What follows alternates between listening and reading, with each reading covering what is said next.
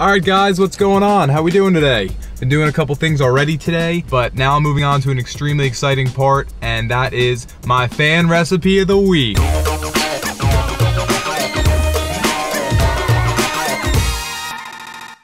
All right, guys, so we just got in the store. I got this awesome recipe. Gonna be making some donuts. Don't you know? I'm gonna need to get the ingredients. Eggs, eggs we have back at Quest, so we're good on eggs. This recipe also calls for Greek yogurt, which I actually have at work. Calls for a little coconut flour, so we're gonna use a little bit of that. Oh man, wrong aisle. All right, so the last big thing that I need, uh, it calls for a nut butter. Doesn't really specify. Always been a fan of using Skippy, no hydrogenated or par partially hydrogenated oils of any sort. That's it, I got everything that I need. We're gonna get the checking out. Guess what? Time to get back to the kitchen because it's time for some donuts. Seriously, I'm starving.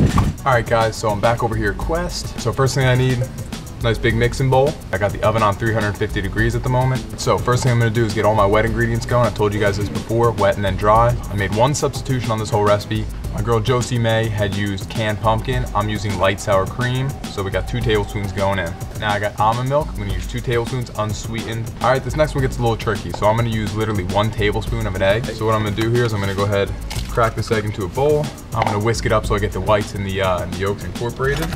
All right, awesome. So now I got my uh, my eggs. Here we go. So like I said, got this awesome nut butter right here, natural Skippy peanut butter. I'm gonna whisk this together with everything else, and then we're gonna start adding all the dry ingredients. Now I'm gonna switch it up just so you know to a uh, spatula because now that I got my wets and the dries are gonna start going in, the batter's probably gonna get a little on the thicker side, so I don't want it all to get stuck up in the whisk. Do the same if you're gonna do this because you don't wanna be banging out that whisk and then you're splattering dough all over the place. All right, so next up we got some baking powder, a little bit of coconut flour. You hear that noise? That's the sound of donuts. All right, got that good vanilla protein powder. That's gonna do it for the batter for the donuts themselves. So what we're gonna do is we're just gonna bring this together. All right guys, so here we go. We got the donuts all laid out, they're formed. So I couldn't find any parchment paper. Uh, so instead I just went ahead and sprayed the sheet pan. Got a little non-stick spray right there. And like I said, I'm gonna slap these out. That didn't work. Gonna get my cosmetic tool. Boom, little offset spatula always does the trick. All right, so epic fail. Bound to happen at some point, right?